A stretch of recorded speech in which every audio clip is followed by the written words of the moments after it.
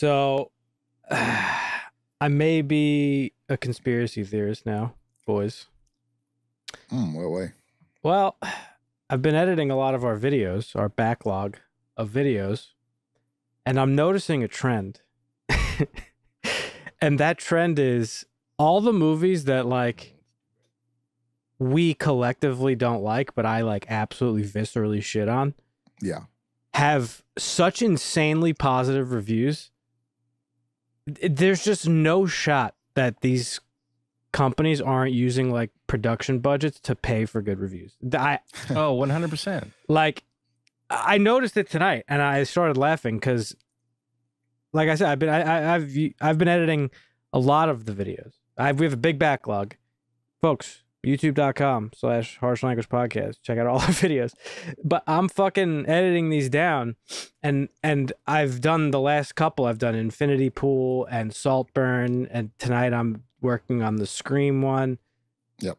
and just they're all like every video we're talking about like i can't believe how good the reviews are of this like what are people talking about um it's crazy i there's just you could not convince me that rotten tomatoes is being paid off like you couldn't convince me otherwise it just has to be and unfortunately so. and unfortunately i think we're in another situation today with what we're talking about we're going to be talking about last stop in yuma county a little bit later a movie I didn't even know fucking existed until Dusty mentioned it like a couple weeks ago. Yeah. This Yeah. movie's getting fucking stark crazy reviews on on on uh, Rotten Tomatoes, and I'm just sort of wondering why. Obviously, we'll get into it, but goddamn, like, put me. I'm gonna fucking start going on QAnon and shit. Like, this shit is crazy. What the hell are we supposed to use, man? Harsh language?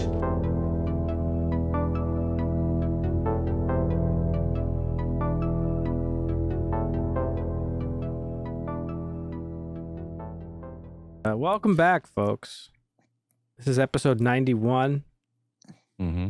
Getting close. Mm-hmm. How are you guys doing? Pretty good. Fucking terrible. Well, yeah, I know, I know you're having a rough day. Fuck AT&T and AT&T support. It's Yep. fair. That's fair. AT&T sucks usually. I used to work for AT&T way Mm. back when.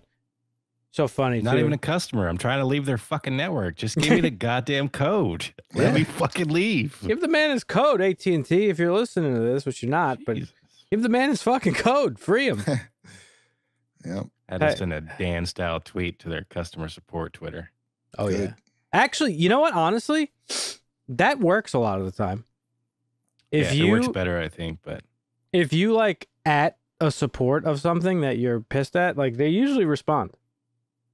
But um we'll see. They hate I got to try again tomorrow because uh, after four hours of on the phone today, I got nothing resolved. yeah. They hate negative publicity, so Mhm. they'll Yeah. do anything. Have you been seeing the Yeah. trend people have been doing at uh, Chipotle? No. Oh, taking the People are- videos? Yeah. Uh, yeah, people yeah. are recording the people make their bowls so that they don't get or burritos or whatever, so that they don't get skimped. Yeah, it's, that's It's actually hilarious. that's actually Yeah. fucking funny. and it's working. Oh man. Well, some of those are faked. Like you know, the amount of meat they put on is like, Oh that- yeah, for sure. They they ask for double off and it's clipped it out. Yeah, What have you guys been up to? I've been gaming. Oh yeah, I've been playing. playing? Um, Diablo? I've been playing Killer Clowns. A Oh. little bit of Diablo. Um, Killer Clowns is good. Yeah, yeah, and I've been playing um, MultiVersus. That's probably Mm, the most fun I've been having. that's cool. Yeah, they added Jason Voorhees. Killer Clowns is good though. Yeah, it's fun. I'm enjoying it a lot. I heard the new season of Diablo is good. Yeah, it is. It is. Okay. That's cool. What have you been up to, Dusty? Uh, not a whole lot. I was playing some Death Stranding with my Oh. roommate. I had never played it, and It's a great game. Yeah. it's fun for a little while, but it gets a little old. It's uh, a repetitive. Carrying the baby around. What else you do in that Yeah. fucking game? It is repetitive, but it's repetitive in like a brilliant way, I think.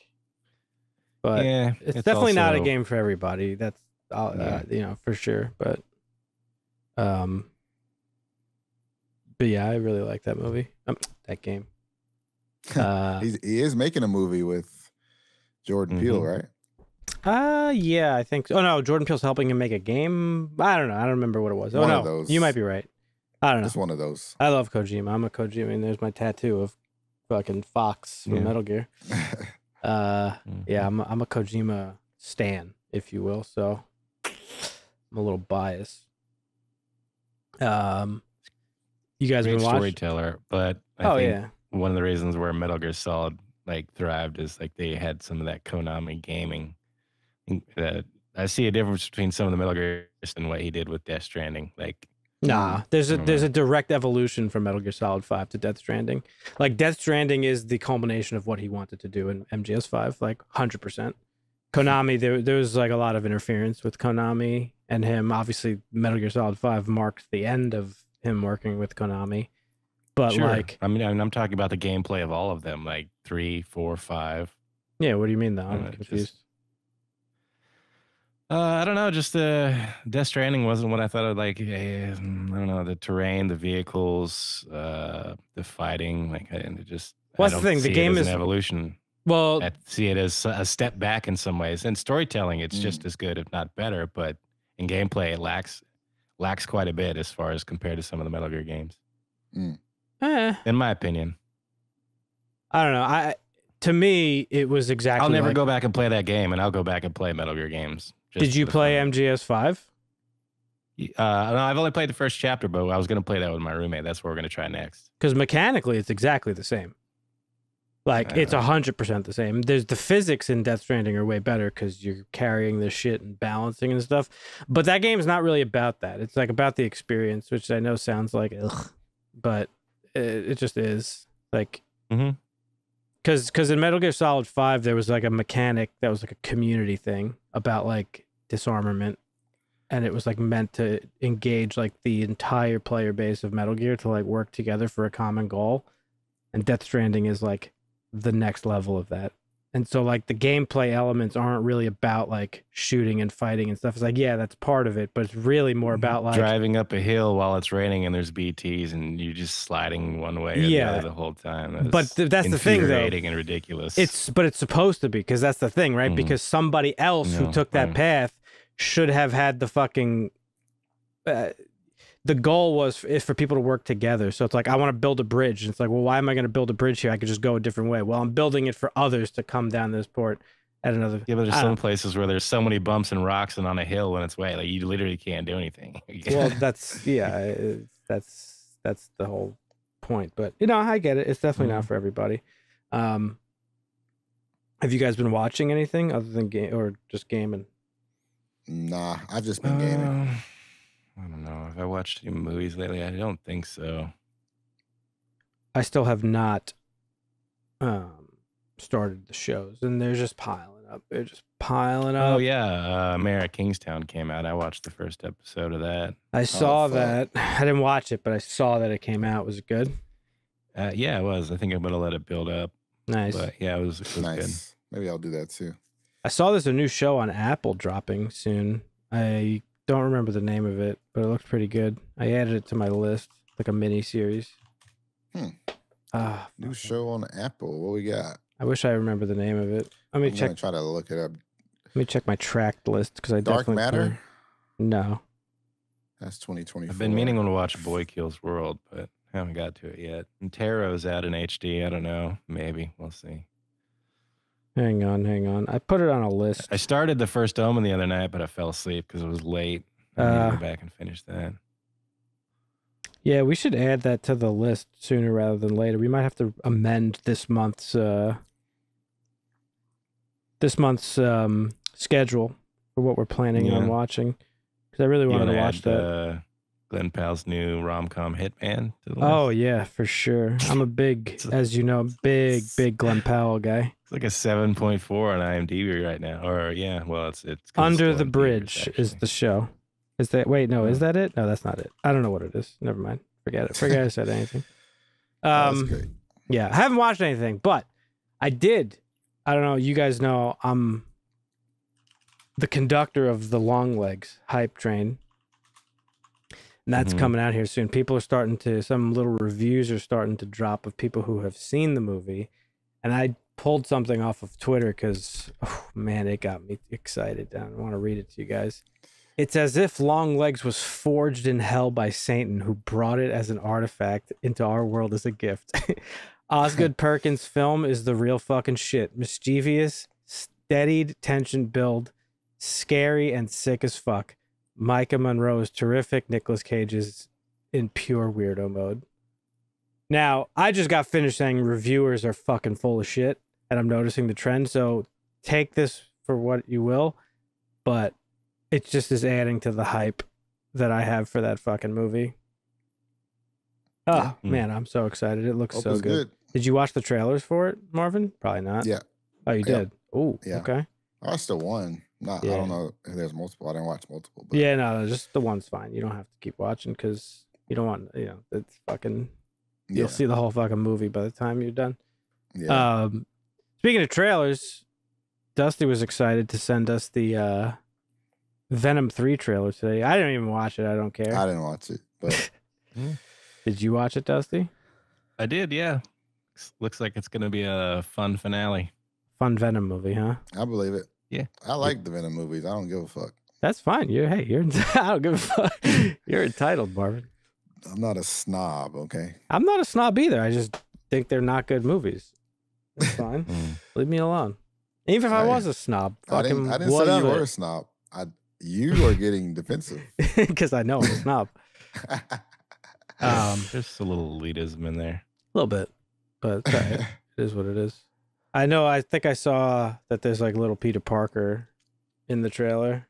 Mm. A little glimpse of Pete and No, I don't know. I didn't pay that close attention. I was on hold with AT and T still. Right. Yeah. Was that show on Apple TV called Presumed Innocent by chance? No. That's Jake Gyllenhaal. Oh yes. Yep. There it is. yeah, Presumed Innocent. Yeah. Yeah. Good job, Marvin. June 12th. Yeah. Yeah. Yeah. Looks good. A horrific murder upends the Chicago prosecuting attorney's office when one of its own is suspected of the crime, leaving the accused fighting to keep his family together. Apple loves their crime dramas, and I love them too because they're Yeah. good. They are Yeah. good. Yeah, they are. Under the Bridge is a Hulu show that I'm excited to watch. That's the one I thought I was talking about. Hulu, yeah, I saw that. Yep. That looks Is that pretty a foreign good. show? Or was that Um, I don't think so. And then there's the other show on uh the one um with uh what's his name Colin Farrell. Um, yeah, sugar? Sugar, yeah, that looked really good too. Um, well, yeah. So I guess dry week for everybody, huh? Yeah. In terms of watching really watch stuff. much. Yeah. I, I I I fixed I fixed I completely uprooted and changed my sleep schedule. I think I was telling you guys about it last week. Oh, really? yeah, I've been going to bed at like midnight all week, which is very new for me. yeah. But I gotta say, I'm kind of enjoying it. nice. nice. Yeah. Um, but it does. It has been getting in the way of me watching things. I have to start really buckling down. But once I get in the groove of watching shit, it's it should be fine. But um, I'm the but same way. Yeah. Uh, what do you got this week in terms of news, Dusty? Anything big going on? I have something I would like to share before you get started. Okay. I don't know if you had it on your thing. Marvin sent it earlier, but I had pulled it like a couple days ago because I was like, my man. I don't know. Yeah. You guys hopefully You guys remember. usually when you guys post stuff in Discord, I've already got it. yeah, yeah, Nine yeah. times out of ten. You're a muckraker, I know. But I complained several times on on the show, on our show, on this podcast, this very podcast, that Netflix is fucking stupid for not releasing physical media. And finally, one of the bigger yeah. names on Netflix spoke out about it. My boy Mike Flanagan slams Netflix for not releasing physical media. Quote, in the years I worked at Netflix, I tried very hard to get them to release my work on Blu ray and DVD. They refused at every turn. It became clear very fast that their only priority was subs and that they were actively hostile to the idea of physical media. This is a very dangerous point of view. While companies like Netflix pride themselves on being disruptors and have proven that they can affect great change in the industry, they sometimes fail to see the difference between dis- disruption and damage, so Mm. much that they could find themselves, intentionally or not, doing enormous harm to the very concept of film preservation. Boom. What do you guys think of that? It's kind of crazy. Netflix came from DVDs. Mm-hmm. Yeah, and then Physical they went media, and digital, now- and they released they released a couple things like Stranger Things one and two got physical medium releases, so they've done it in the past. Did Stranger Things get physical releases? Yes, yes, one and two did absolutely. Okay. Yeah, uh, Haunting of Hill House got one. What else? Uh, I don't think the Haunting of Hill House did. Did it? Yeah, Huh. Well, that's interesting. I'm not a big physical media guy anymore just because like I just have like a thing with clutter. I don't know. They just like I had I told you guys this. I've had I I had like a collection of like over 300 Blu-rays and DVDs. And they Yeah. really just collected dust. So like I don't know. I get like the collector thing and I get like physical media and I get like all of it. I was just talking to my friend about this recently cuz he was like he just he messaged me he canceled HBO and like all this stuff. He got a me- he got an email from HBO that was like, "Hey, by the way, we're raising your monthly price to like 50 bucks a month and you're actually going to get downgraded in, th- in terms of like the quality of service you're paying for." Yeah. And he's like, you know, I, I was trying to tell him, I was like, "Oh, you should do what I do, you know, what we do, Marvin."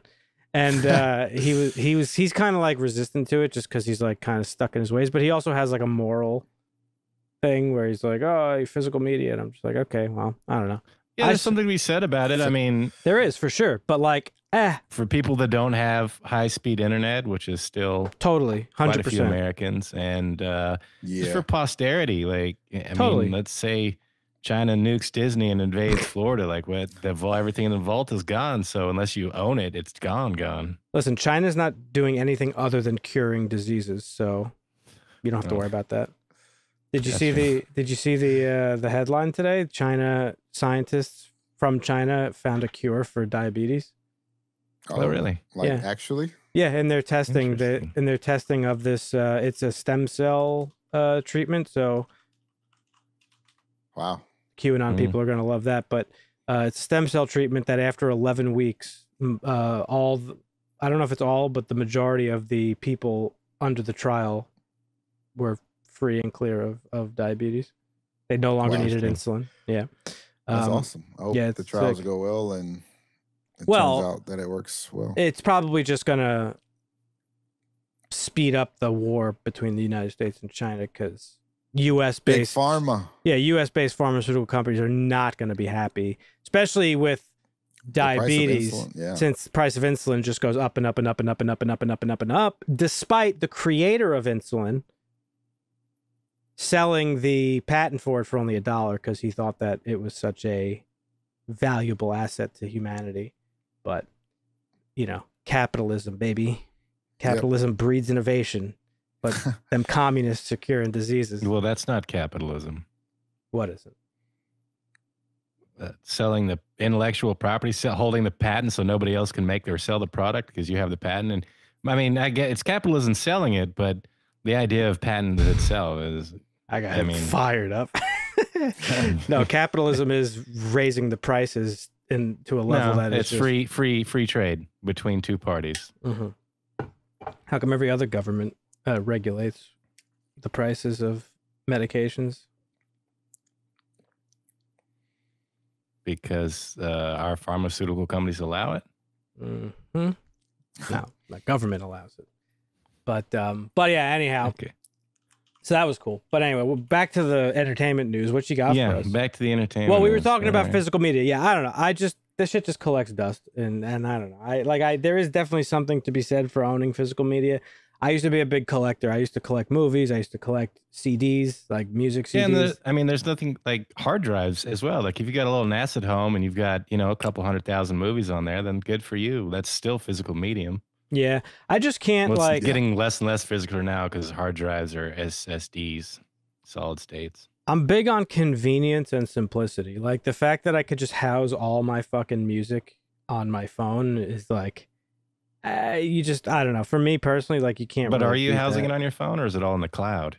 Well, it's in the cloud, but I can have Right. it on my phone if I wanted to. I just don't Yeah. like to I take up the download all my music. Do you? So when the internet goes out, all you have that's cached. Oh, that's all you have. Yeah, I guess, but I mean, I'm not a doomsday prepper, so I don't think that far ahead. I just like convenience. Plus, like if that's happening, if there's some sort of like global catastrophe where like there's no internet, like I have other things to worry about than fucking listening to like misfits and shit. yeah. I got an old hard drive from like the 2000s with like the Billboard Top 100s from like 1950 to 2010 Yeah. and a Sorry. couple hundred thousand other albums.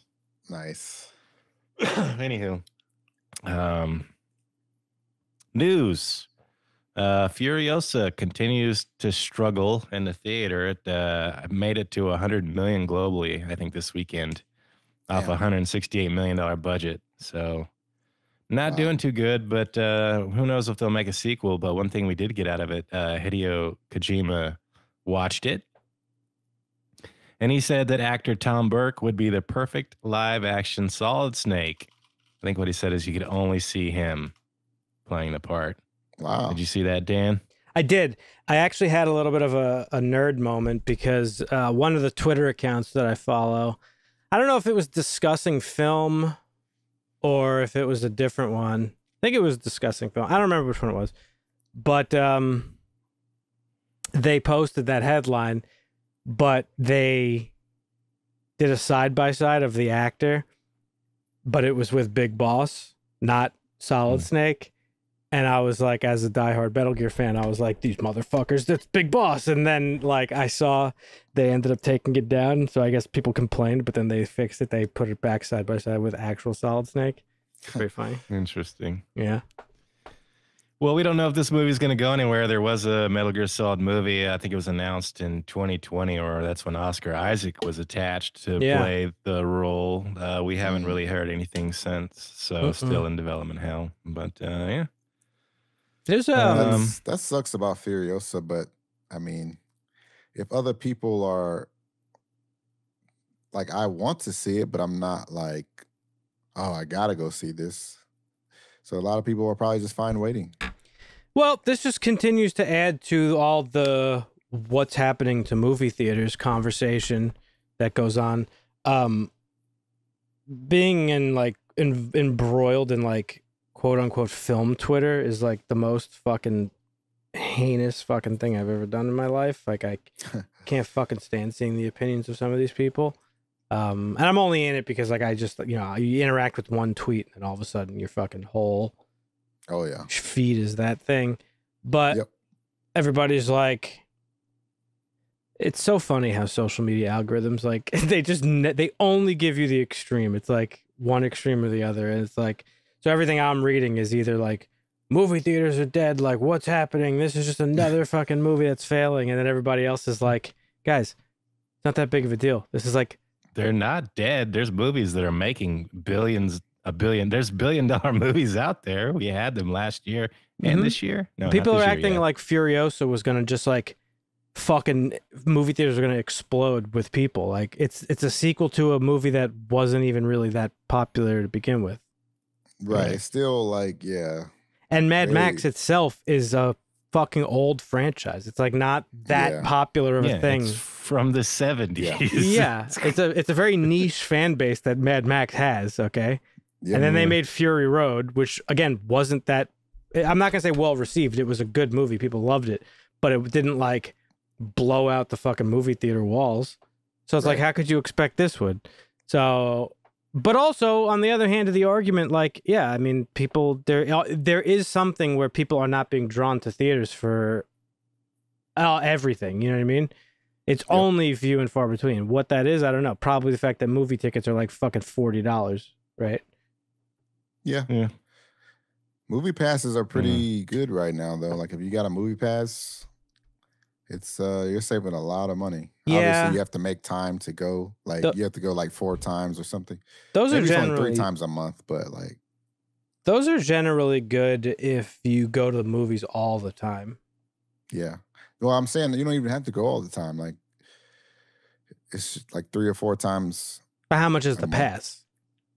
It depends. Um, I think it, uh, if you buy like uh if you buy the pass uh for a family, if you go twice, it pays for itself. That's fine. Right. Yeah, that's not bad. yeah, It's something like that. If you go two or three times, it pays for itself in, in a month. That's Yeah. not too bad. Yeah. Yeah. I know it's at least twice, but it might be three times. I'd have to check. But yeah. Anyhow. We'll see. We're gonna see Um, with Deadpool. Deadpool's gonna be the big test. I think. Yeah. Ooh, yeah. Because I haven't seen the Deadpool, first two Better Deadpools, so that Deadpool's a I'll see this. Deadpool is not only an MCU movie, okay, but it's also a comic book movie that wasn't in the MCU that drew huge audiences and was very popular. So it's it should have everything going for it. If this movie doesn't fucking blow out the box office, then like something is going on. Yeah, I was uh. I was wrong about Dune Part Two. I thought it was going to be the first billion dollar movie of the year, but it's still uh, lingering around seven hundred and eleven million. I would assume Deadpool will be that, but we'll see. Yeah, I would We'll imagine. see. What else you All got? Um, Arcane. We got a new poster and Oh, uh, yeah. time frame, not an actual date, but uh, November release. Yep. So we know when it's when it's probably going to come out. Did you did you watch that, Dan? I did not know. Yeah, that's a great show. You're missing out. It's the League of Legends thing, right? Yeah. Yeah, I heard it was pretty good. I just uh, maybe we'll see. Yeah, it was great. You excited, Marvin? yeah, super excited. I Good. love the first uh, season. Yeah, it was great. Won some Big fan. awards, I think. Nice. Speaking of awards, The Bear, Mm. drama or comedy? Have you guys watched this show at all? I want to. I haven't yet. I Okay. haven't watched it yet.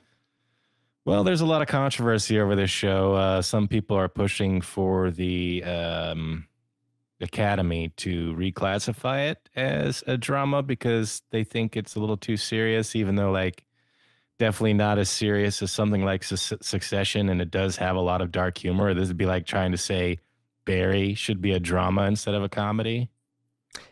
Uh, yeah, I don't know. Some of those things get kind of weird. I But it- guess. It's weird. And what's even weirder is like in 2015, the Television Academy automatically placed any show that clocked under 30 minutes in the comedy category.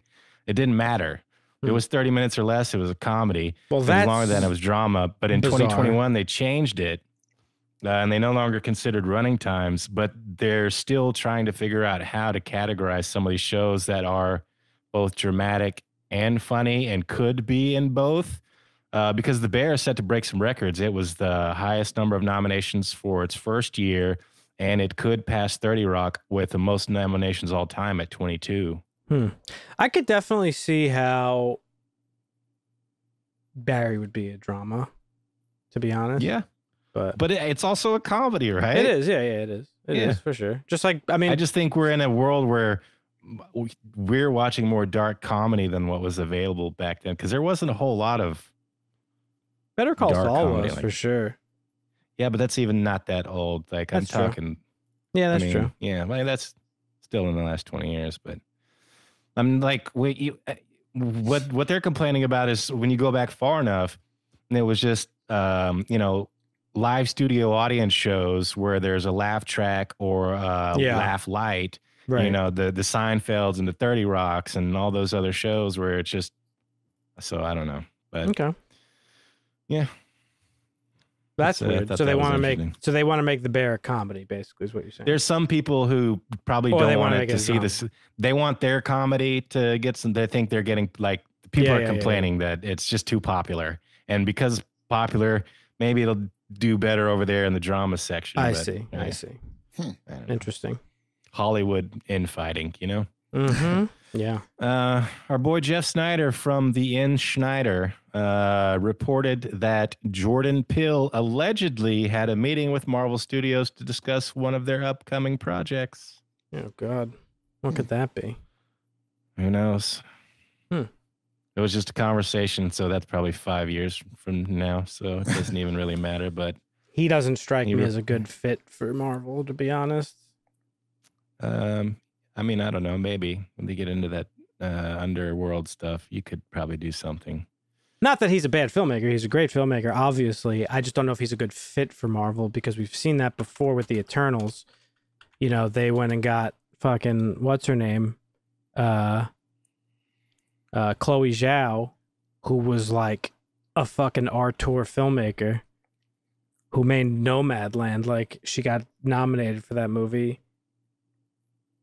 in 2020 but i guess i don't know i guess they had gotten her before well like before that because eternals was 2021 so that was probably like well under underway point being she was not a good fit for a marvel movie she made a mar she made a, a great like i think the eternals I, I wouldn't say it's great i think it's okay it's not as bad as people make it out to be but it was very different in the marvel Yeah, I need to go rewatch that. in the mcu it's like it's very different. Uh, I, I don't think it is. It's just different. It's a different type of movie. I don't know. Maybe he'll be good. Who knows? He's he's a, he's like a fucking nerd, so he might make a good comic book movie. True. Hmm, well, speaking of comic book movies, well, yeah, I guess kind of not really. Fede Alvarez was talking to Empire about Alien Romulus. Um, they were asking him about what kind of movie he was going to make, Mm-hmm. and they were talking about the difference between Alien and Aliens. Ah, I saw and this. this was his response. To ask an a- alien fan to choose between them is a perverse question. It is. So I thought, how about do both? Yeah. Take the best of both worlds. So hopefully that's good news for the movie goers and alien fans. But uh, we'll Speaking of Fede Alvarez, his Evil Dead film, the remake he did, is now on HBO, I believe. So if Hmm. anybody's out there that hasn't seen it, check it out. It's not bad as far as remakes go. Have you seen it, Dusty? I don't think so. What Hmm. is this? Uh, the Evil Dead remake that came out Oh, a bunch of years yeah. ago. It's not bad. That's the one with uh yeah, no, Not I the one we haven't. watched, no, that yeah. was uh was that What'd you say, Timothy Elephant? Was he in it? not Rise, right? This is No, no, no. This came out No, in no, no, no. It was a remake of Evil Dead. Uh, not it had a couple sorry. 2013. couple big name actors in it. I remember it. but I don't- 2013. Yeah. No, there's no, there's there's nobody in it that's like big. It's like a bunch of like no name people, or that Oh. I know of. Yeah. Okay. Um, it was Mm. good. It was different. It's not like it's a very different feel than. Yeah. It's like it's like Evil Dead Rise, but a remake of the first one. Is if this is the best way that I could eh, describe it. Like it's not as campy as the original Evil Dead. I'm not sure what you're thinking of though, Dusty. Uh, Timothy Olyphant. I don't know what you could even be thinking. of. Yeah, I don't know. There was some remake that we were talking about. Uh, probably a different movie that was remade. Yeah. Um, maybe it was The Omen. Maybe. what? I don't remember. But anywho, back to aliens. Um, Deadline reports that Elle Fanning, I think it's Elle, it's E L L E, maybe it's Ellie, it's Elle Fanning, Dell. Is in talks to star in Dan Trachtenberg's next Predator movie, Saw that as currently well. yeah. titled Badlands. Yeah. This is not a true sequel to the Prey movie. However, uh, they also reported that additional projects, as far as spin-offs, are in the works, and a direct sequel to Prey is also being discussed at this time. Uh, so this is going to be a different time, different story, different interaction. But uh, Apparently, it takes yeah, place sometime in the future. that's what I would imagine. Yeah, like a dystopian future, Mad Yeah. Maxian style. So, yeah, we'll see. Somebody, we need to pump the Um, brakes on all these fucking just sequels and shit. Like, Well, how about a crossover, Dan? sure, what do we got? Chris Hemsworth is in talks to join the Transformers GI Joe crossover, according I to Deadline. that, Paramount yeah. officially, uh, the movie was coming out. eh, They officially announced that the movie was coming out in April, so this is just new news to it. Uh, big names attached though: Lorenzo di uh, Bonaventura, uh, Mark uh, Ver- Vahradian, Michael Bay, Tom DeSanto, and Don Murphy are producing the movie, while Steven Spielberg and Hasbro Entertainment serve as executive producers. What's crazy is that unless They're going to pump a lot of money into this. They're going to hope it's going to be a half a million dollar movie, and they'll probably spend 150, 200 on it. Unless I'm mistaken, we haven't gotten a GI Joe film recently. I think the last one was Rise of the Cobra, which was Rise of Cobra, yeah. with Channing Tatum, which was like horrendous. I don't think I actually watched it. I just watched the GI Joe movie and not the Rise of Cobra. But I that's a think that franchise. was that a straight to Netflix movie. I have no clue. But that's a franchise that could maybe like use a revival, right? Like we haven't gotten a good version of that. I said a couple shows back, like why are we making remakes of good things? Let's just make things that were bad and make them better. You know what I mean? Yeah. Have you ever watched GI like Joe, that. Marvin? You a GI Joe guy, Marvin? Um, I know of GI Joe. Um, maybe played with a couple of the toys, but Mm. never watched it. I don't think. The action hero version. I mean, the action figure version of American exceptionalism is basically what these these are. But I don't remember the i do remember the cartoons from a kid, but I don't remember them. Mhm. Remember them? You know what I mean? Yeah. yeah. I got a GI Joe shirt.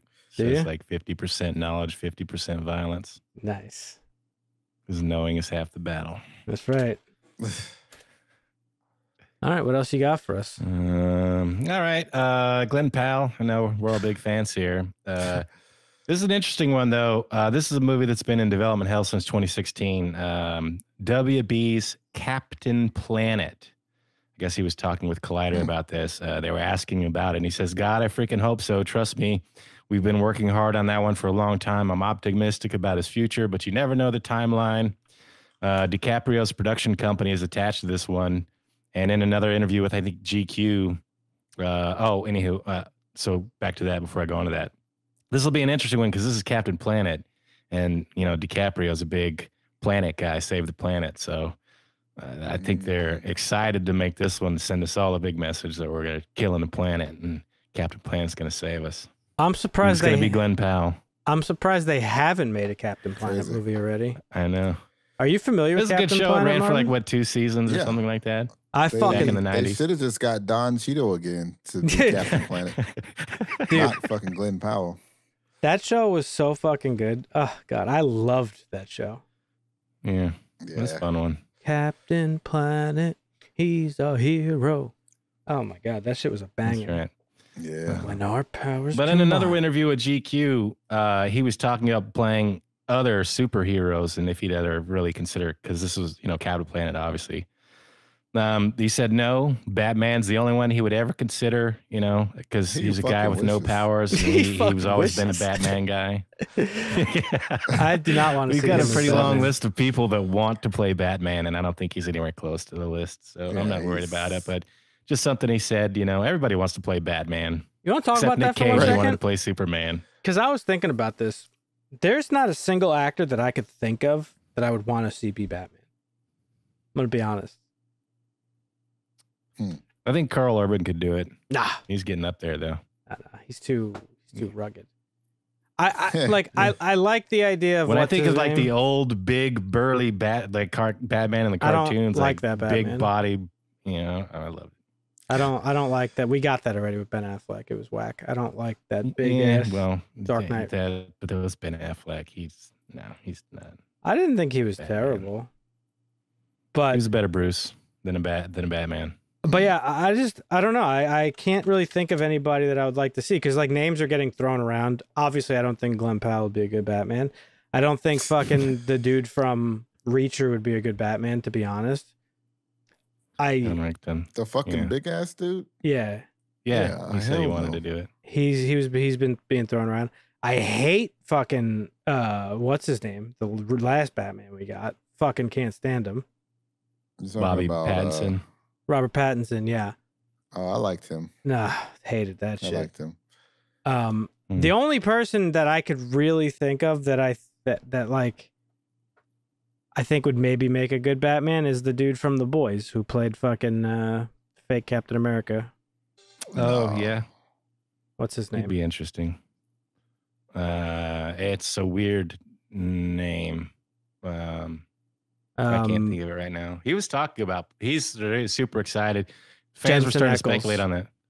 No, not. Oh, I thought no. no, I'm talking about. oh, Jensen you're talking about Ackles, yeah. Jensen Ackles. Well, Jensen Ackles has played Batman before. voice, but I think physically, Yeah, I thought you were. Yeah, I thought you were talking about the other guy. no, no, Yeah. no. Physically, I I, I could kind of see it. He's the only person in my mind that Yeah. like, but I have such a hard time like. I don't know. It's hard to. It's hard to. Yeah, Jensen Dude. could totally pull it off. I think He's he'd been a detective his whole life. He was in Supernatural for 15 fucking seasons. Yeah, but he looks the part to me somehow. I don't know. He's like handsome.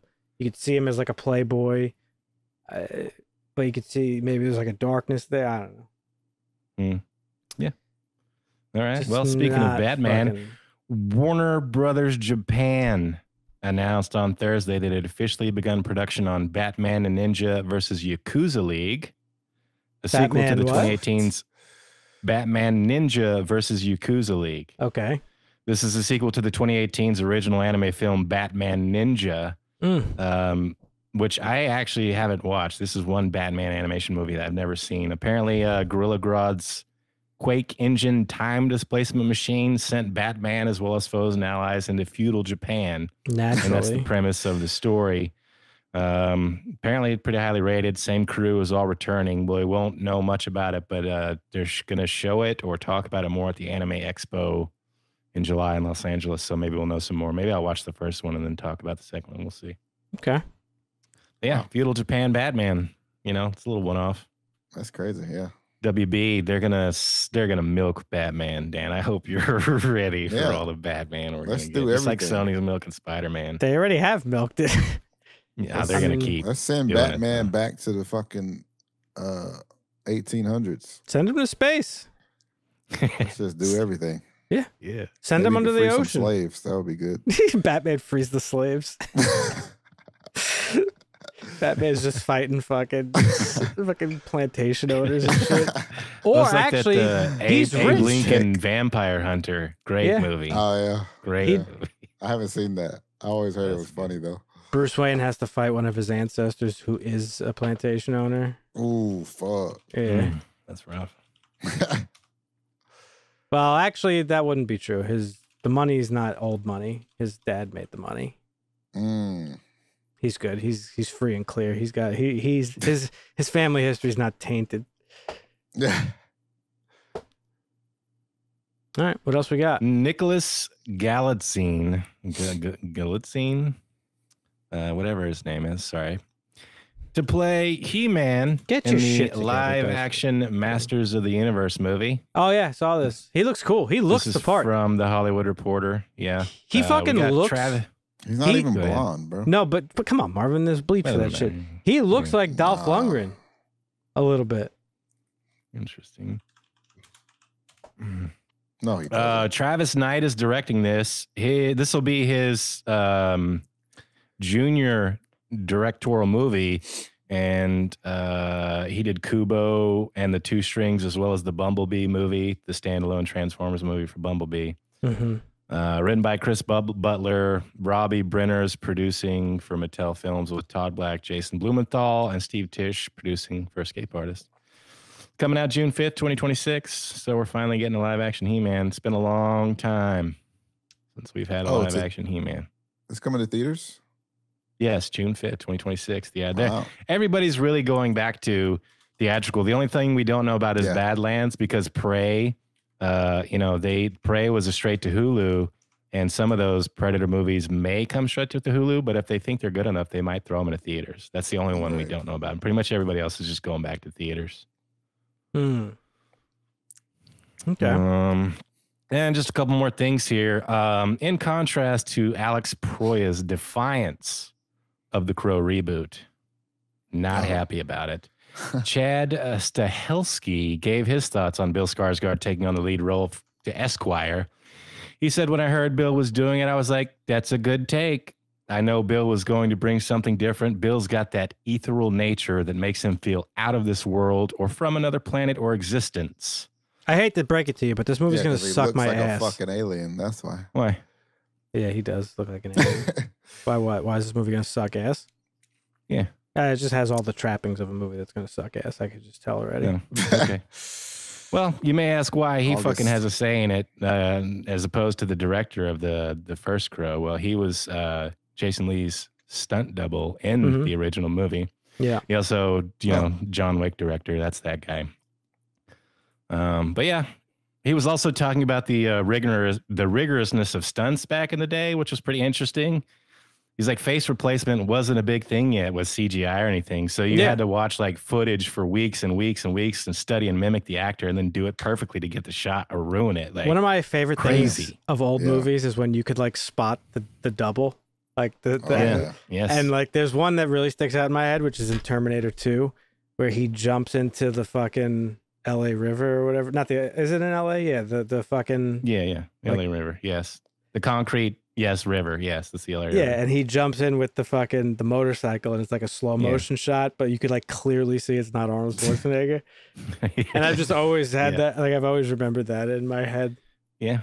That shit never gets old. Nah, that's good. And we don't even really, we never uh, uh, recognize stuntmen until just like the last year. Like, is that what they started doing it? I gotta And they had to work a lot more back in the day. I gotta say, I really liked uh the one that the uh, the one that just came out with um what's his name? Um, Monkey Head? Yeah, Monkey Head. No, not Monkey. Monkey. I, I thought you were talking about the Dev Patel action movie. that was Monkey Man, but I'm talking about Monkey the Man. one that was Monkey Well, about he's wearing the mask. the actual stunt man, the stunt uh the, the oh, fall, the Fall guy. Guy. Yeah. Yeah. Yeah. Oh, Fall Colt- Guy. Colt Seavers. It was actually really good. And like it did a really oh, good Yeah, job paying a homage to stunt people.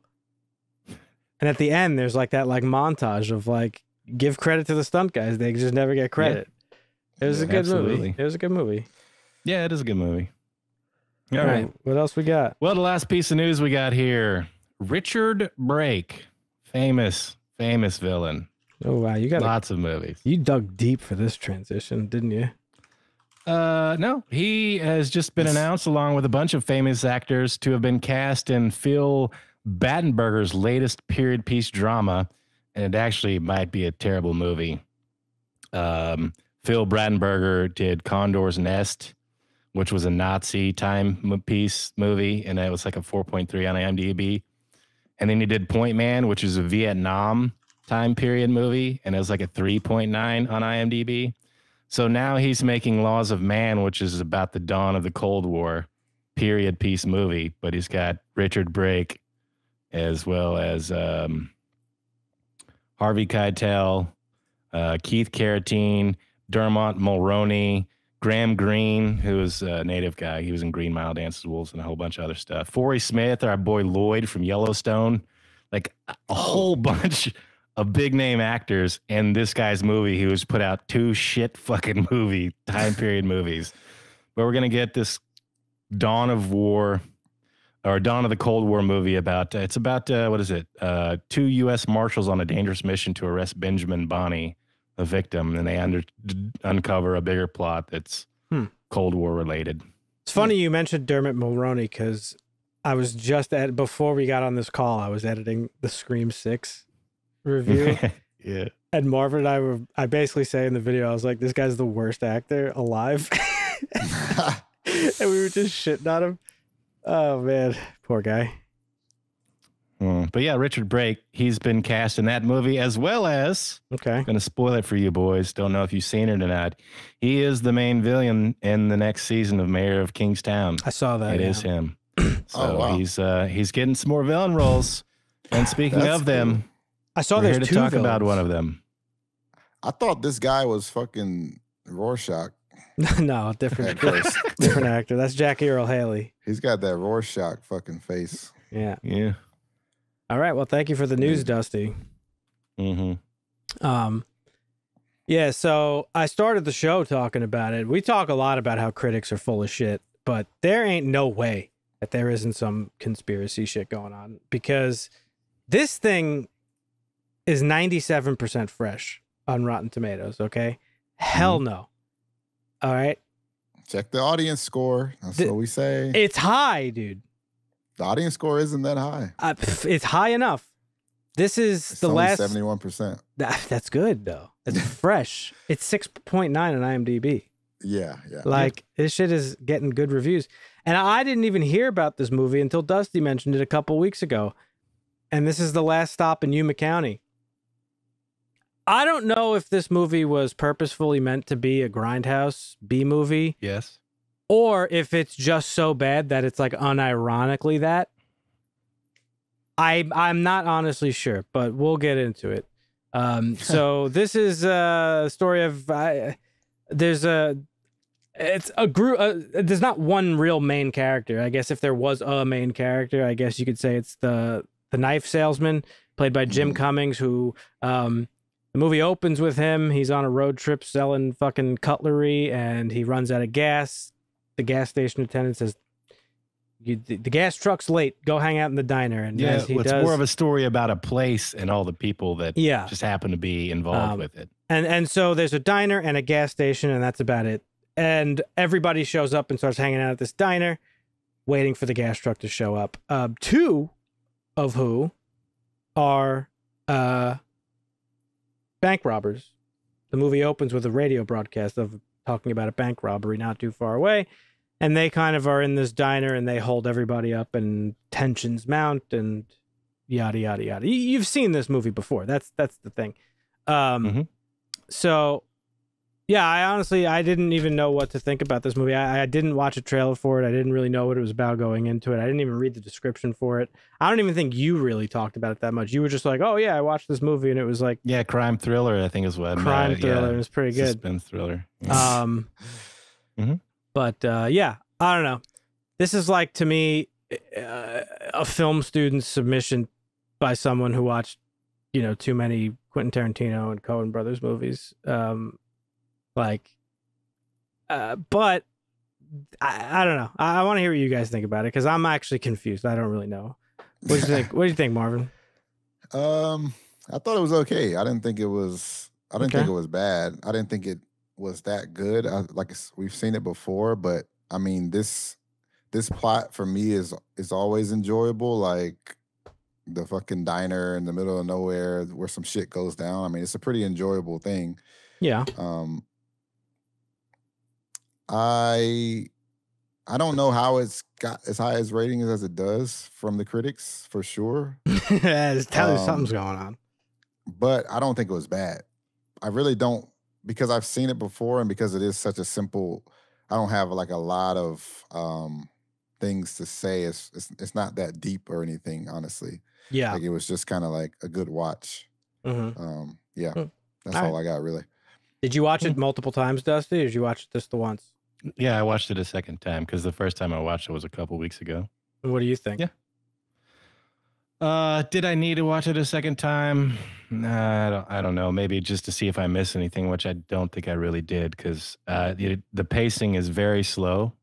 Yeah. um, you're just kind of growing through the paces, and it is a grind, but it it's like a thoughtful um, Murphy's violent Murphy's Law, I think, tale, and that's really all it serves to to tell the audience is yeah, you know, best laid plans, shit goes wrong, shit can go really wrong.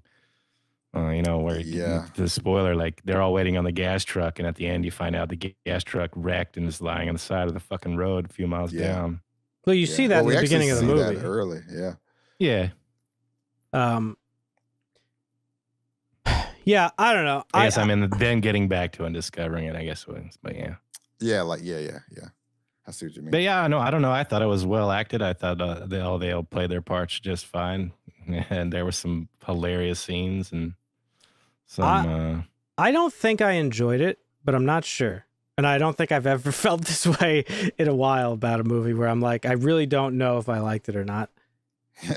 Um, because on one hand, it's a very like it, it, it's literally like a dollar store Quentin Tarantino movie. Like it that that's that's what it feels like. That's my first. yeah, I mean, like the. Mexican standoff scene was hilarious, and then just like bang, oh shit! Uh, What was funny about it though? dead. I, I'm curious.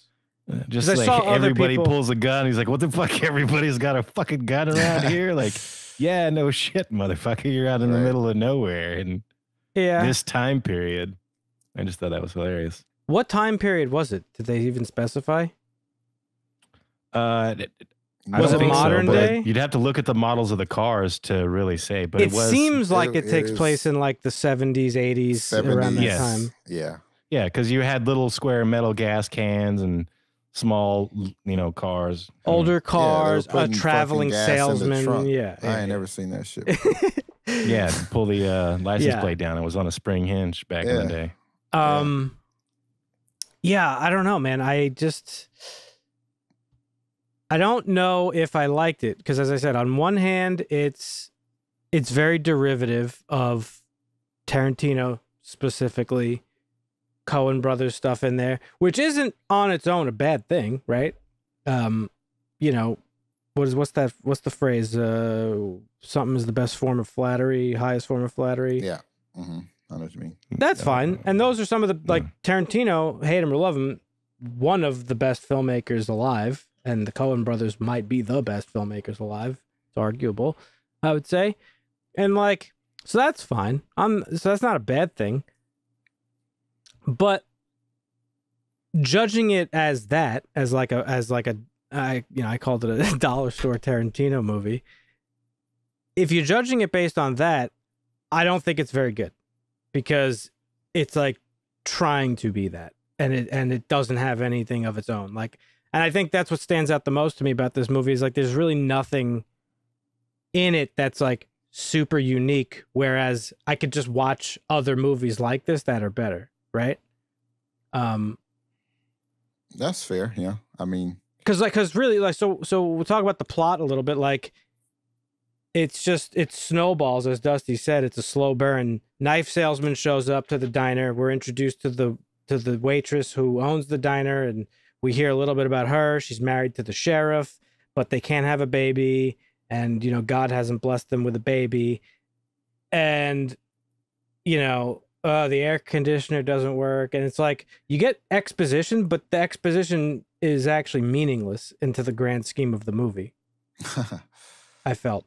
Because like and then and then more patrons start coming in. Then you get the old couple who come in. And then you well first you get the fucking you get the the bank robbers who stop in and they run out of gas and they're there and they're fucking like eh, just being bad for no reason i kind of felt like because like really uh, all right so like it's all over the radio they robbed the bank they would have gotten noticed already okay so tensions are heightened the old couple then comes in and they're fucking sitting there and then the fucking wannabe criminal couple the younger couple they show Yeah. up and then the fucking native american guy shows up and it's like and then you got the gas station attendant next door who's like he's a little suspicious of what's going on. So but like there's like the only exposition that you get is really about her. And then spoilers after the mexican standoff like she dies. Hmm yeah. and funny enough i was just i just uploaded scheduled the video that we did we talked about uh infinity pool and dusty's one of dusty's main complaints is like nobody in this movie is likable. And that's the same thing in this. There's not a single likable person in this movie except for her. And she fucking dies. And the other thing that really pissed me the fuck off is that the movie starts with basically her saying, not starts, it's just early in the movie. It's her saying, like, they're talking about kids, like, oh, yeah, no, God didn't bless us with the ability to have kids or whatever. Mhm. Well, the movie ends with a fucking orphaned baby, right. and neither of the two couple, who are the only two likable people in the movie that should have gotten the baby, they both die, Mhm. her and her husband. yep. So Yeah. this movie was just like a snowball of tragedy that Yeah. made no fucking sense.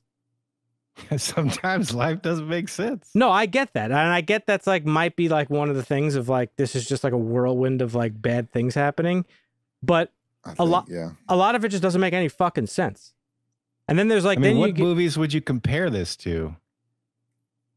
there's no direct comparison. I mean, well, there is a Humphrey Like- Bogart movie from like back in the 40s that this is like almost a remake of, uh, called The the River Wild would be one I think would be comparable. Kevin Bacon and Meryl Streep, where the bank robbers try to sneak downriver, so they hire a river, like I remember that. a river expert to take them downriver, and then they discover that they're the bank robbers, and chaos ensues. But it's about a small family trying to get out, not everybody that shows up trying to get gas, or like the town. I mean, there are all kinds of robbery movies where things go wrong for the robbers and they end up dead. You know, but usually it's like the cops win. It's this is one where like everybody just gets fucked, and it's like, oh, okay, well, holy shit, I- not yeah, good for anybody. I just Right. I don't know. I I kind of just didn't. I don't know. I found it in poor taste, to be honest. Like at the end, like I there was Interesting. it, there was like no real reason for it. Like why? I don't know. It just felt weird. It uh, it bothered me a little bit, actually. To be honest, I don't know if it's because I'm getting older or whatever, but like, I, I I I feel like I catch myself saying this a lot. Like things need to have a fucking point to them and to serve the plot, and this this didn't even have that. This didn't even have a story. It didn't have anything. It, was- it was just a plot. It wasn't a story. It was just a plot. It was like here's a bunch of people in a diner, and No, then it's just the knife salesman reacting to everything that happened and uh, everything that he did. Like, what would you do? You know, I wouldn't You're do what sitting he there. did. I certainly you're wouldn't sitting do that. there and everybody's dead, right? You're sitting there and everybody's dead, and now you're trying to get away, and you're like, I could get away with the money scot free, and then people show up. Like, what do you do? No, I get Yeah. I get what it was trying to do, which is why I'm so confused. Because again, if you there's there's two ways to view it. This is either a like unironic, like we're trying to make a fucking Tarantino esque movie that was just bad and low budget, or this guy could be like, no, I was totally trying to make a B movie, like, and that's what it is. Because the acting is bad, the budget's low, like it that it's a B movie, and you and like you know the font and like the title and all that stuff is done in the B movie way, so you could easily see it as that. So I'm just very I'm left very confused. Like the direction is decent enough. Um I thought the acting, particularly this Jim Cummings guy who plays the knife salesman, was fucking awful with his like permanently bewildered fucking vacant stare. just confused all the time. And like he just had like a super flat delivery. Um I thought his acting was. I thought it was good. I feel. I thought he had a good performance. Maybe Well- not when he was like blankly staring and that, but like the the second half where shit started to pop off, I felt like it was pretty good. yeah. I thought the acting was pretty good overall in the movie. I, I think uh, some of the dialogue could have had, you know, left something to be desired, but Yeah. I don't know. I just I think this was one of those movies where I'm just like I don't see what you guys see. I will like I mean, fair. I don't really see much. I mean, like I said, it was just. Yeah, yeah, no. It's I'm not, not looking for a deeper meaning in this movie. Really, I'm just enjoying it, No, for sure. portraying. You know, as it's playing out. Yeah, but even in that sense, like I don't know really that anything that enjoyable really played out. Cuz Hmm. like I didn't find them like okay, so totally on board what you're saying. Like not everything has to have like, you know, a deeper meaning or a fucking crazy like plot threads or whatever things could just be, but like Sure, yeah. okay, so then what is the movie trying to do? This particular movie, in my mind, is trying to like build tension over the course of 90 minutes. I didn't feel all that tense. And like I uh, I like I didn't I didn't think a Mexican standoff was going to happen, but obviously you've seen movies like this before, you know some shit's going to go down. Yeah. So like I didn't really find it all that tense. And then after all the shit happens, you know, the knife salesman just fucking like loses his mind and like just fucking that that's really really he's already in too deep. He couldn't like it uh, was I either guess. keep going or like try to explain why you were trying to get away with the money. See, but I'm so surprised at you because you have gripes about stuff like this, but this you're giving a pass because when that other couple shows up at the end and he's like trying to make his getaway and he's like fucking caught red-handed, instead of skulking and hiding, he could easily just come out and be like, "Holy fuck, I survived this fucking massacre!" oh yeah, absolutely. Like, it, and just But, it would have been like, over. Yeah, with. you're but the panic in his mind at that uh, point, like I get it. everybody in the diner just fucking died and then you stabbed a lady. Well, What? I think I it's mean, I don't think he was supposed. I don't think he was being portrayed as someone that's like smart. I think I it was think less. that was ever the goal of He was a no, his loser. that's character. It also, I mean, it he's was, a fucking knife salesman. Like he's not like a skilled, smart. Yeah, and and- Selling the Cutco, Dan. but that and that's that's the premise too is that like he he succumbed to the greed because obviously he has a shitty job or whatever yeah, Yeah, he's on the road trying to make money to human. get back home to see his Yeah. daughter's birthday. I would. Yeah. I would have tried. I would have took. I would have put the money in my truck in my car, and then I would have just called the cops, and that's it. great example dusty asked what would you compare this to there was a whole episode like this in sandman that diner The episode diners. Yeah. Mhm. which was a million times better than this fucking movie in Yeah, terms of like that's- tension and stuff like that it's different It's but it does different. but it does the same thing You have a bunch of characters, and this isn't an hour of television. So you have a bunch of characters Yeah. trapped in a place, and you learn a little bit about each of them. So by the Sure. time when the massacre happens, you actually feel bad for the chick who was like estranged from her dad or mother or whoever. I, I don't remember off the top of my head, but like Right. Yeah. the, you do like you could do this and still like do some development to where you give a fuck. Like I only felt bad about the waitress because she didn't do anything. you know what I mean? Right. Yeah. Nobody else I gave a fuck about. I mean, I guess the couple, but like they basically they're silent most of the time. So like I feel Yeah. I personally feel like for to to build up something like this with tension and stuff, there has to be a payoff that is emotionally striking in some way. Otherwise, the buildup is meaningless. It's like it's like jerking off and not finishing. Do you know what I mean? You're not get you, you you know what I mean? There's not like there's no finality to it. It's just it just happens yeah. and it's not Yeah. It's satisfying. the ultimate atheist philosophy. At the end, it's just nothing. Then Well- none of it matters. Yeah, I- well, that's vastly different than watching a 90 minute movie. I mean, come on. Yeah, But I mean, I don't know. I'm having trouble with it. that's I fair. just I don't Yeah, know if I like it. like I said, I watched it a second time and realized I probably didn't need to. I could have watched this one time and enjoyed it for what it was and never think about it or watch it again. It's Mhm. not like, That's where I uh, but I still thought it was a good movie. I like, I enjoyed it. yeah, I would see, recommend you watch it if you do- don't have anything to do and you want, like, what do I want? Yeah, it's, um, I, I think it's worth a watch. I think visually it was good. There's some good directing, good cinematography. I think the set was really well done. Yeah. I, I like I liked the Mhm. setting. I don't think I enjoyed it though. And I think just it's weird that I like can't fucking get a grip on it, but I, I don't think I actually enjoyed it. I really don't. I don't think I did. I think there's too much of it that I didn't like.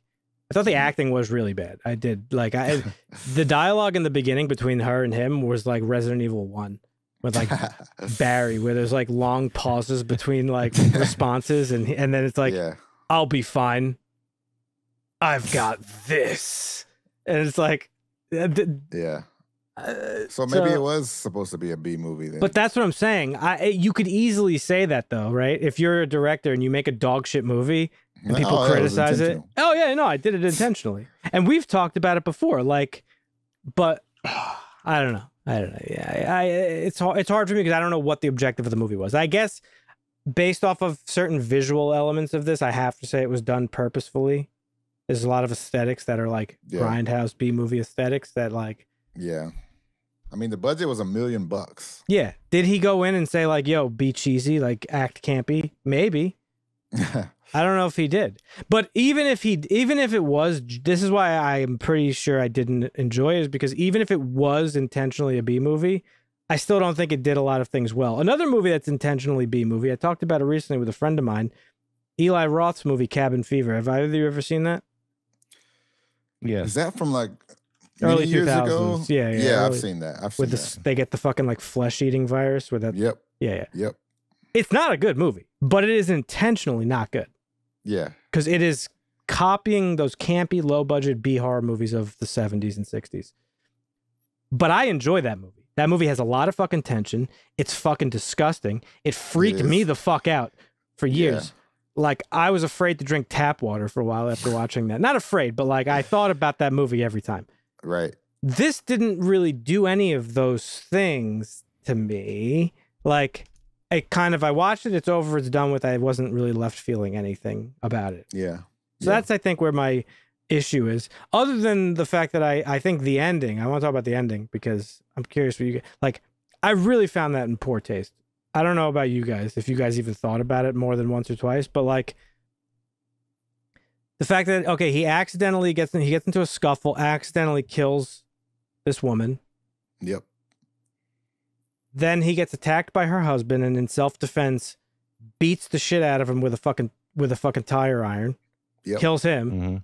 And then as he's about to flee the scene, he hears a baby crying in the car, realizing that they had a baby. Yeah. And then he leaves the baby behind. Yep. It just seemed overly like cruel to me, he was. I mean, he was committed at that point. if that makes sense. Well, he was committed and scared. Like he was already in too deep, and he didn't also want to be. He he became the villain he couldn't also be the hero, so he just fled as the villain Yeah, I guess because he knew the cops would be along soon enough. Yeah.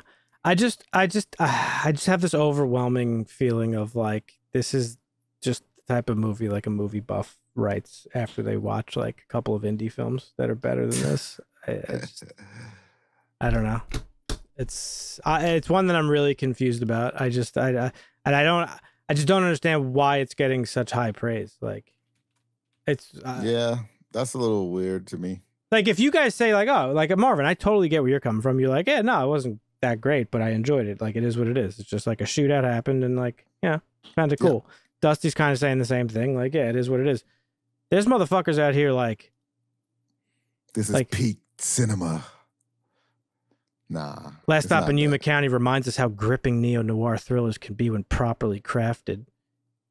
In addition to obtaining outstanding performances from all his actors, the director demonstrates that he has extensive knowledge of the cinematog- cinematographic language and uses it to immerse us in its simple but ingenuous story. Ingenious story. Wow, I can't even read. Um, I don't know. I I don't know. It's just one of those movies. I, I don't know. I really don't. I don't know. I just I know that I didn't care for it that much. That's all I know. But I guess That's fair. yeah. Um.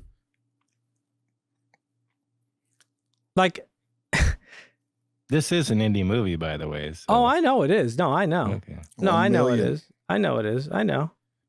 And it had some like interesting elements to it, like, but I just felt like they didn't go anywhere. Like, and I guess you know, I I, I kind of get where Marvin's coming from. Like, they don't. They where do they have to go? They don't really, but like, you need some some structure, man. Like, you got to have some things to like r- uh, hook an audience with, like, and I'm not not not to like say you guys like are fucking wrong or anything, but it's just not enough for me to just be like, huh, okay, there's a shootout. Nice. Like I, I- I just, I don't, I don't know. That's kind of, I felt just nothing afterwards.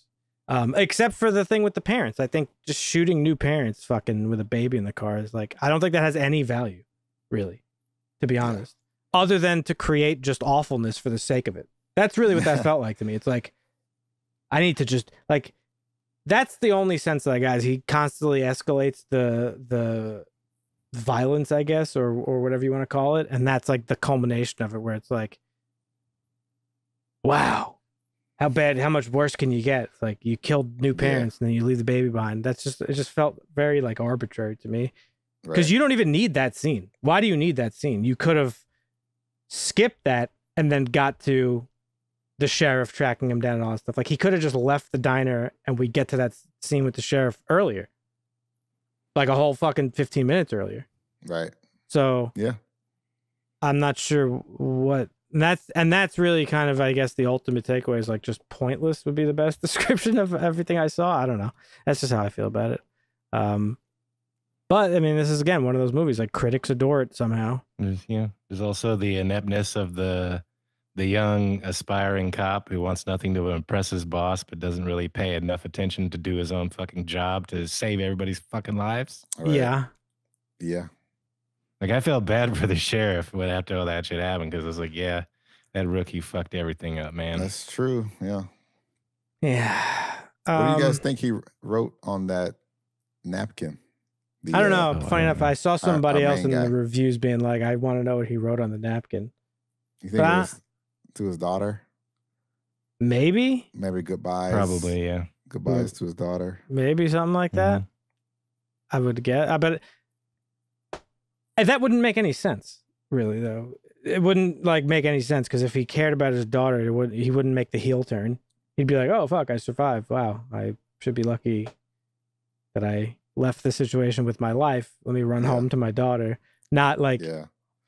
let me kill a fucking young couple with a baby in the car." Yeah, but I mean, what do you? Yeah, I mean, I guess at that point it's different. But like after he stabs the girl because they get in an altercation, like you're sitting there, I there's totally no phone. No, no. There's no phone. Totally. You got to just sit there and wait for the next person to show up and try and explain Well, that you didn't kill all these people. You just happen to be the only one that survived and not sound like the guy who's going straight to jail for killing everybody. I'm gonna pull a Dusty here because there's a lot of goalpost moving in this movie, right?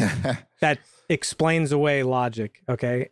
So let's go down, let's go on a little journey real quick. he knows that her husband is the sheriff. She says it. yeah. Okay. He also knows that the phone line was cut. hmm He knows that the deputy fumbled the fucking nonsense or whatever.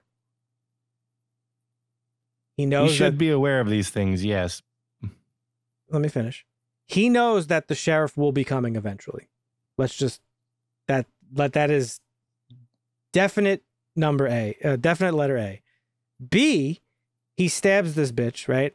Totally understandable. Like, wow, I'm freaking out. I stabbed somebody. I could be put a thousands of things running through your brain. I was just in the middle of a shootout. I'm the only survivor. I could be blamed for this. Totally, totally, totally fine. His knife, stabbed her with his knife. Wow, that looks bad. yep. But And left it. Looked at it and left it. Sheriff But- saw that right away. but there's got to be any human being in this situation outside of the movies would for sure just be like, well, I'm just going to sit here and wait for the sheriff to come. I know he's going to come eventually. I should be able to explain this pretty easily. Like everybody knows the bank robbers in their car, the money's in the car. I could easily explain this. It's an easily explainable situation. Is basically what I'm getting at. And I he mean, knows, I could give you a great. and he knows the sheriff's coming. Hang on. And the goalpost moving is though the movie sets up is like, well, the sheriff was very, he was very like emotional that his wife died, and he didn't believe him to Mm. begin with. Well, yeah, he didn't believe him when he was fucking hightailing it down the fucking highway Yeah. away from After the he scene. left the baby. if the sheriff showed up and this guy was just sitting in the fucking booth, freaked the fuck out, I'm sure the sheriff would have been like, oh, okay, wasn't you. What were you gonna say, Dusty? I'm sorry. True. I, I mean, uh, my one gripe of this movie would have made the movie not even happen, right? So they pull up to the gas station and they realize there's no gas, and the dude, they like, there's hotel rooms in there, and they go into the diner and there's no AC working in the diner, like there's window units on the hotel. Mhm. Spend five dollars, park the car in the back, and stay in a hotel room until the grass truck shows up. Like you don't need to go in the The diner Diner. That's Yeah. and fucking stir all that shit up. Like, what? Why are you parking your car out front? You know what I'm Yeah. saying? Like, No- just get a room Normally, the back. normally those things don't bother me, but there's just a lot of like logical leaps that I have to make to go through the Yeah. plot of this, and it's like eh, it's just too many. It's just way too many, Yeah. and and it's too many that like again the it, had the movie done a little bit more, I would have been on board, but like it's just it it's didn't. I don't know. I really don't know what to say anymore about it. I like I didn't I didn't fucking hate it. I didn't hate it. I, it's just I didn't like it really. It's just it's hard to I hard mean, to it's really supposed say. to be that kind of movie, that kind of movie that makes you feel icky and like, eh, uh, I don't feel icky. I just don't. Hmm. I just feel nothing all right. about it. It's just it, like I just feel nothing. That's the best way to describe it. I feel nothing. I, I the what I'm talking about with the couple at the end is not a feeling. I just think it was pointless. It's like the fucking Yeah. scene in Infinity Pool where you see him jizz on the rocks. Like pointless. It serves no purpose. It's just like it's just there to be awful for no reason. Right. I don't really care to watch that. So, you know, whatever. I'm not offended by it. It's just I just think it was stupid. And this guy's got a fucking Evil Dead movie. Apparently, he's he's signed on for an Evil Dead movie. This director, Francis Jaluppi, Galluppi. I don't know how you pronounce his name. This is his directorial debut here. So Oh. Yep. Okay. I don't know. Maybe we give him a pass. I I just I'm just really caught in this like middle of like, well, clearly inspired by Tarantino. Clearly not Tarantino. Uh, and purposefully made a B movie. I don't. I don't. I don't really know. It's just one of those I movies. mean, I, I get like, that. Like, yeah. What? You you watch a Tarantino film with with um, the one with the no no no the one with the diner scene. Um, Reservoir Wallet. Dogs. No, Jesus. Pulp Fiction. Oh, Pulp, Fiction. Yeah, yeah. yeah. Pulp Fiction actually has the diner scene. So it's like Yeah. he somebody watched Pulp Fiction and say, you know what?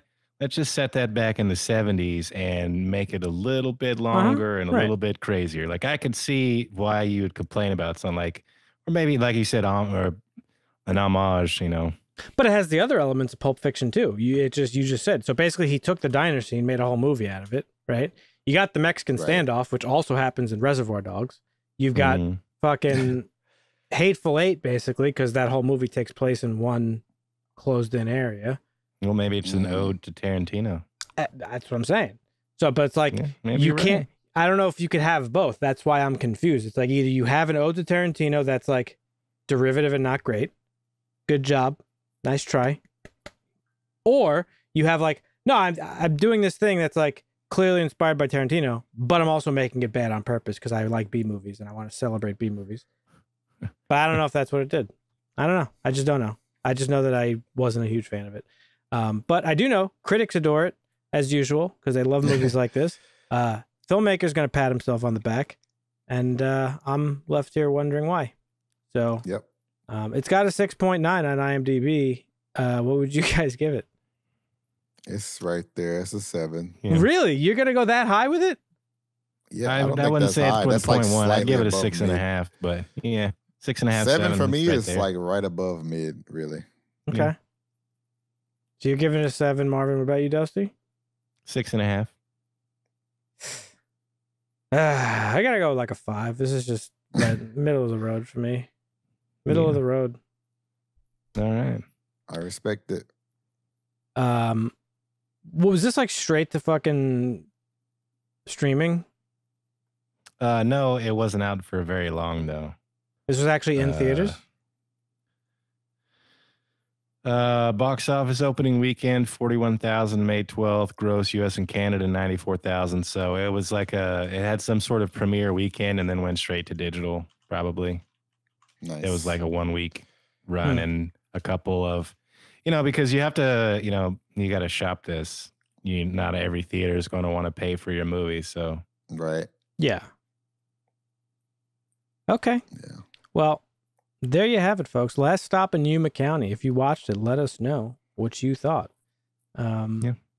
Maybe you have some sort of better, uh, better way to explain what you thought about it than I did. I don't know why I'm so like fucking stun locked on this movie. I mean, it's just like I said, it doesn't have much. There's not much substance there. Um, I think that's what is it why I didn't really have much to say about it. Like, there's not really much there. So, but to me, that doesn't make it bad. So No, I it's just not.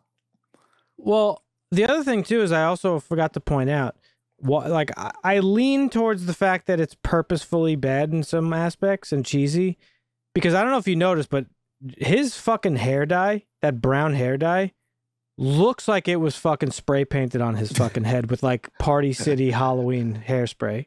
That's funny. So that has to be done on purpose. Right. Yeah, they were using that. That's what they were using back in the day for like balding spots and stuff. They were using spray paint. They had, they had the spray cans and shit. Did you notice that about his hair? I didn't. That's funny though. A little bit. Go back and watch some scenes where you could see it's like it's shockingly brown. It's like it's like reddish brown. Like it, you could see it was spray dyed. Here, here's a great here's a great picture of it right here. I'm gonna put it in in the chat real quick. All right. Like you could tell that it's not his natural color. Oh yeah. So I see stuff like that, and I'm like, okay, like, uh, th- there's no way the movie's this fucking bad, like in real life. It's got to be like a- an ironic thing. So I don't know, yeah. Yeah. But that's it. You guys have anything else to say about it, or what? Nope. No. All right. Well, there's our thoughts, folks. Leave a comment down below. Let us know what you thought of Last Stop in Yuma County. Um, if you have not done so already, and this is your first time here, please consider subscribing to the channel. It helps us out. We're very close to 700. We're working up our way to our next little Yeah. goal there. Um, so that would be helpful. Leave a like on the video. Do all those things that you're trained on the internet to do. We would really appreciate it. Um, we're here every week for the most part. We'll be back next week. Thank you for watching, and we'll catch you then. See you. Must have.